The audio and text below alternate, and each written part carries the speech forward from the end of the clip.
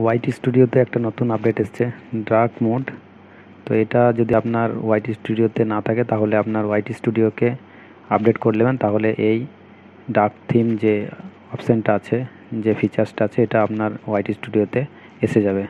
তো আসুন দেখে নিই কীভাবে এটাকে অ্যাক্টিভেট করতে হয়। তো ওয়াইটি স্টুডিওতে ডার্ক মোড অ্যাক্টিভেট করার জন্য প্রথমে আপনি এটাকে ওপেন করে নেবেন।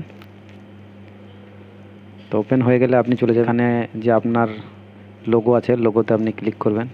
ক্লিক করার পরে আপনি চলে যাবেন এখানে সেটিংসে সেটিংসে ট্যাপ করবেন। ট্যাপ করার পরে এখানে একটা অপশান দেখতে পাবেন।